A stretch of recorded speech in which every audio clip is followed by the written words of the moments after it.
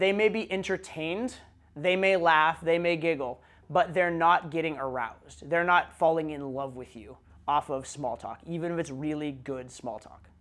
When we talk about man to woman and hooking, right? When there is this drama in the set, when there is a plot to the movie, that's when it becomes hooked. That's when it becomes fun and interesting and it can actually go somewhere.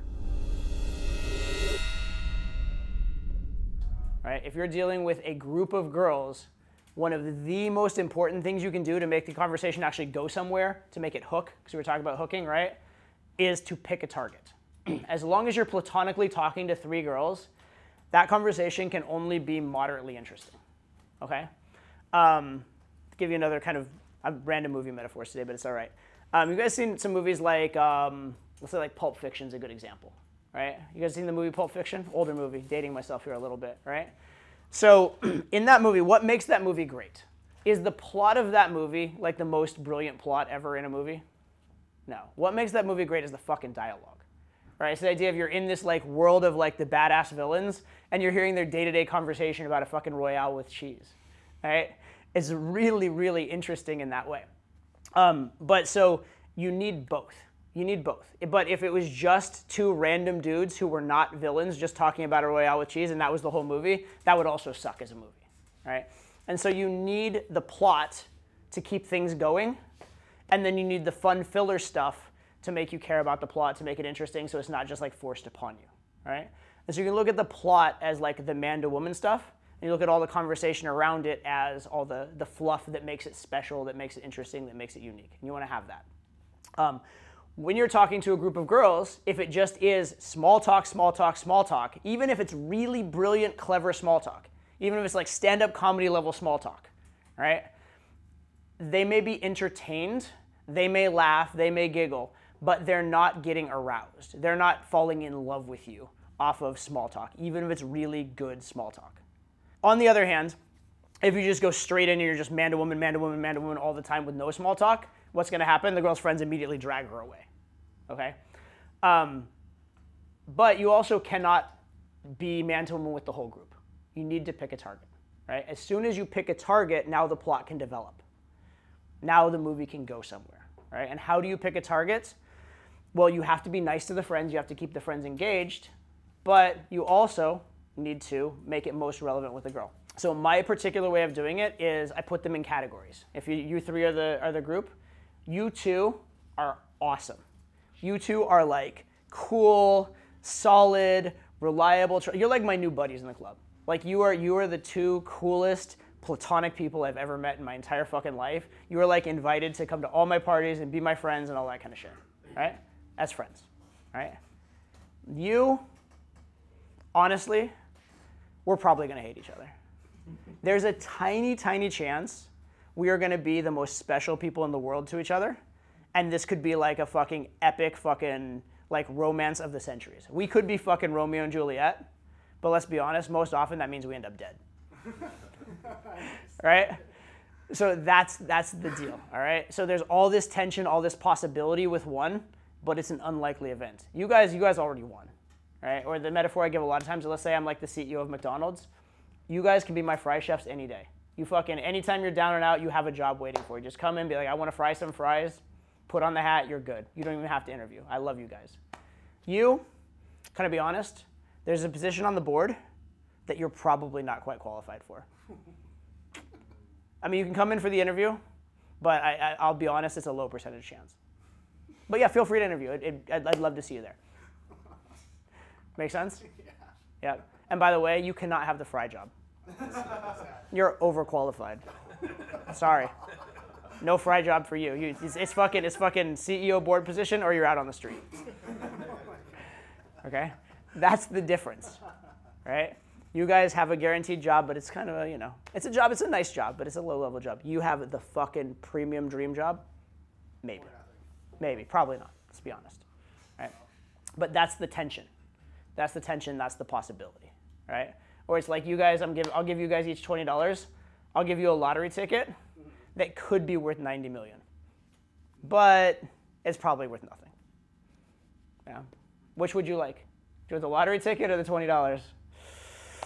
I don't know, I don't know. Purchase price of the lottery ticket was $20.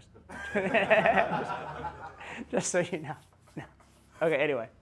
But that's the idea, right? So that you're creating this tension, you're creating that possibility. And that, that's, that's where this intrigue comes from, that's where that fun comes from.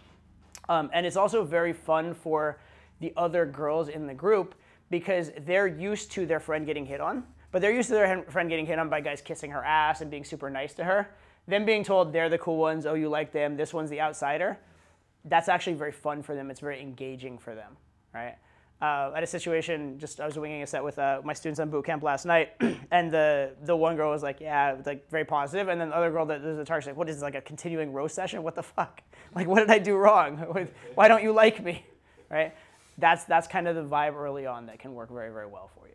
When we talk about man to woman and hooking, right? When there is this drama in the set, when there is a plot to the movie, that's when it becomes hooked. That's when it becomes fun and interesting, and it can actually go somewhere, right? If it is just the boring guys hitting on my friend, girls want no part of that. If it is the small talk that's going nowhere, eventually girls want no part of that because you're wasting their time, right?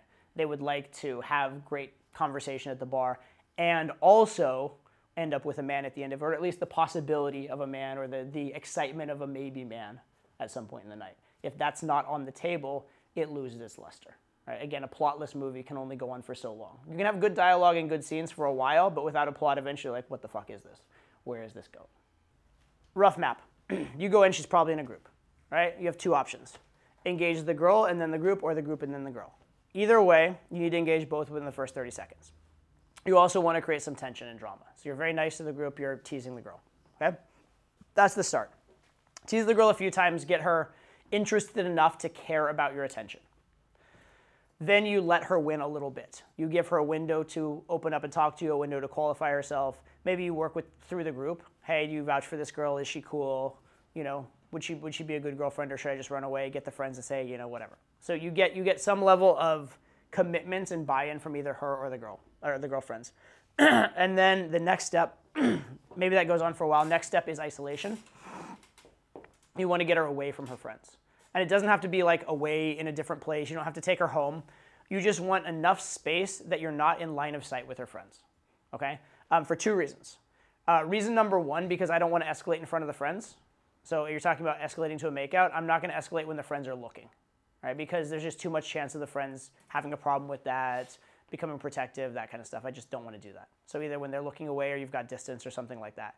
If even I'm in a situation where I could, should make out with the girl, but the friends are going to be a problem, um, I will maybe even tell the girl like I, I would I, I would totally would love to do this and this with you, but I'm not going to right now because I don't want your friend to be jealous.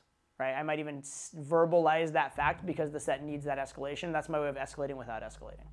But yeah, so I'd, I'd move her away from the friends for the reason that I can't escalate, and also the mo- most important reason because I'm not worried about. I, I'm not keeping score by how many makeouts I get. I'm keeping score by how many girls I actually you know sleep with and develop relationships with. Um, so the most important reason why I'm moving the girl away from her friends is to see if she will. If, you're, if you say to the girl, we're going to go over to the bar 10 feet over there, but slightly out of your line of sight, and then we'll be right back, and either the girl or the friend will not permit it to happen, there is a strong chance that's not a pullable set, right? At least not like for that night. You can certainly take a number, follow up, have it go somewhere, but there's a strong possibility she's not going home with you if she won't go 10 feet away from her friend.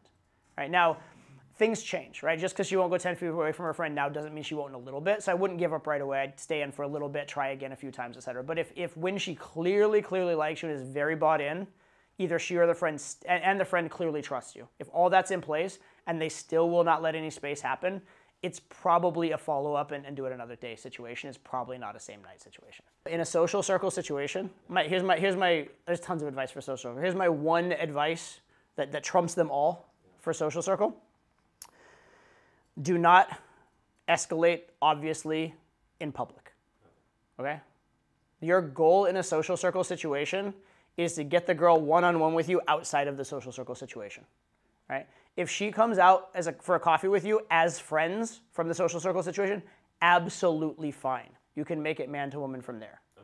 If you dance salsa together and she comes over to like dance salsa and she like is not thinking about this could lead to sex, she's thinking about I want to learn some new salsa moves, absolutely, completely fine.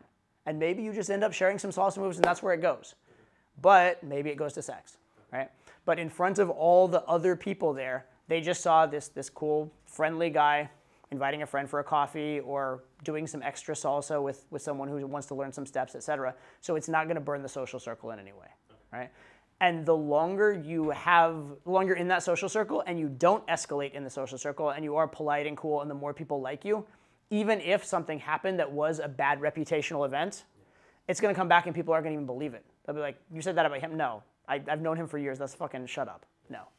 Right? Your reputation speaks for yourself. That's, that's what you'd like to have. So you're not polluting the circle. You can keep, you can keep picking from the same tree for years.